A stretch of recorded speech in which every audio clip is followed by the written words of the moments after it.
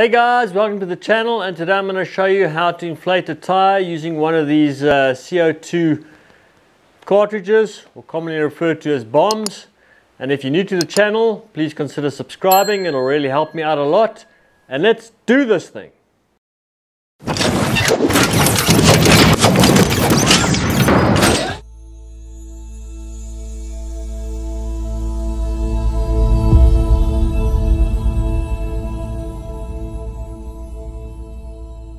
So having a closer look at the actual CO2 canisters themselves, you get two different sizes. This is the 16 gram one, the smaller one, and is more normally used for things like uh, road bikes with the smaller tubes. And then you get a bigger one like this, which is the 25 gram one. And this is used for uh, mountain bikes, obviously because it's got a much higher volume of air. And then to actually inflate the tire, you get different adapters. And this is my favorite one. As you can see, it's uh, still quite dirty in that. But uh, in this one, you basically just take it, you screw the canister on until it gets tight, which I'm not going to do right now. And then to actually inflate the tire, you push this on the valve and then you slowly turn this out like that until it starts filling up the air. And when it's full, you just turn it again to stop it. You leave it like that, then whatever CO2 is left in, you can put in your back pocket and off you go. And when you need it again, you can use it again. There are other adapters like these two here. And normally in a race, I actually have this configuration. So as you can see, this one's got a nice little plastic spacer here, which the actual connector tightens down onto. So you obviously cannot pierce the cylinder like that. Put that in your back pocket during a race. If you have a flat, you can quickly just take this out, pump the tire, put it back in, and then off you go. And then this one over here, unlike these other two, that which are just for Presta, these only support Presta, these two ones here, but this one supports both Schrader and Presta. And this one works exactly the same as this one. You put it on the valve and you press down like that to actually let the air in. So I'll just quickly show you the difference between a Presta and a Schrader valve. So a Presta valve is normally found on all modern mountain bikes, especially tubeless ones. And as you can see over here, it's the valve setup is um, created so it's got this little turn out section over here which when turned out you can then obviously inflate the tire. It allows the valve to go up and down. When you then finish you turn this little part over here until it gets tight and then that seals it against the inside and no air can come out. So obviously when you need to inflate the tire, especially with a CO2 canister, first make sure that you release this. Normally press once or twice just to make sure air comes out if your tire is inflated and then place the adapter over the actual Presta uh, valve like that and then press down and it'll fill up the tire. If we look at Schrader, Schrader valves are normally found on car tires and uh, older mountain bikes. And it looks like this. As you can see, a much bigger valve compared to the Presta valve. So obviously this type of connection here will not fit over that.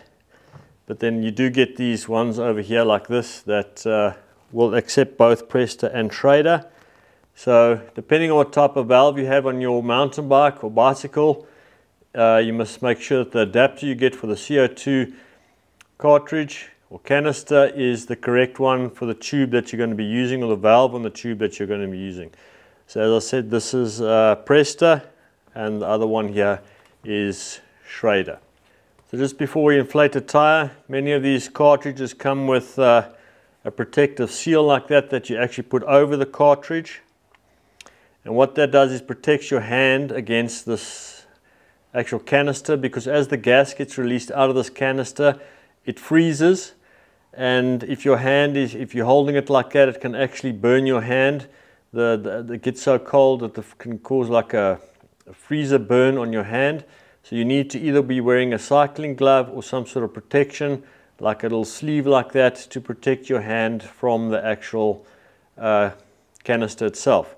Now once you've actually inflated the tire, sometimes what happens is you should not just take this immediately off because this can also sometimes freeze onto the valve. You should wait one or two seconds before releasing it like that. Or some people take a little bit of water from their bottles, spray it on the valve and then pull it off before taking it off just to make sure that it's not frozen anymore. And once again, I'm going to say I prefer the ones that you push on as opposed to screw on especially when these things get cold, they can freeze, like I say, onto the actual valve. And then when you turn it off, it'll turn the core. There's a core inside here out, and then all the air will basically come out again as you remove the adapter. As I mentioned, you just take the canister, you screw it into the valve until it gets tight. You won't hear any gas leaking out or anything like that. You just tighten that onto it as tight as it'll go and then it's already pierced the cylinder. So you're good to go. If I had to push this in the front uh, CO2 would come out. So you're not going to hear any gas coming out or any release of gas. It's now ready to pump. Another thing to remember is when you're pumping the tire you shouldn't actually have the valve at the bottom because when you release this air or the CO2 it's obviously coming in on a lot of force. And if you've got any type of sealant the sealant's going to be sitting at the bottom of the tire and when this uh, CO2 actually hits the sealant, it's going to basically uh, cure it immediately and it's going to become hard in your tire. So all the sealant is then going to be stuck at the bottom of the tire after you've inflated it. And as you ride, you're going to have this uneven or unweighted tire going around. And you can actually hear that if you ride on a, a tar road or something like that. It makes like a, a sound where you can actually hear it's not an even sound running. That means your sealant has basically all dried in one spot. So the best advice is to obviously have it at the top or on the side here. So, so this tire I have completely deflated.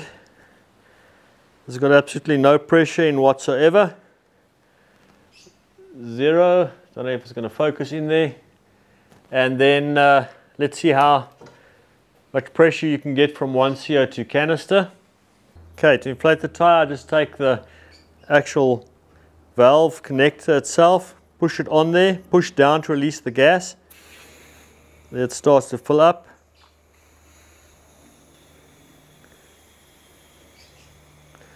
See it's already getting hard. In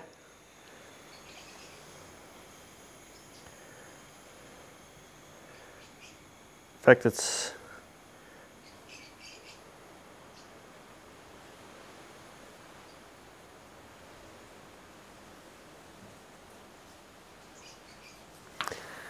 It's completely hard. As you can see, I don't know if you can see, but it's now frozen completely here. The cylinder has actually gone frozen as well. So we'll just leave it for a few seconds before taking it off.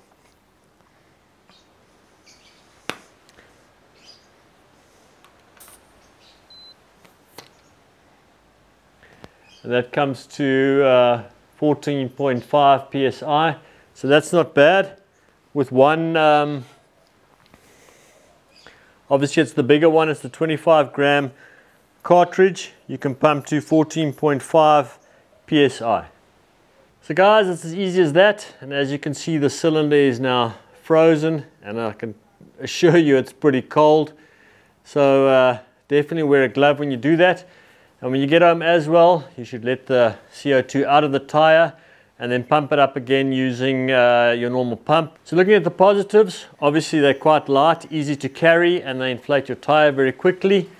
From a negative point, um, if you have more than one puncture, obviously you need more than one bomb that you're carrying with you. And uh, these things can get quite expensive and they're not that uh, friendly to the environment because what do you do with all these canisters when you're finished with them? But other than that, I hope you guys enjoyed the video. And again, please don't forget to like and subscribe, and I'll see you in the next one.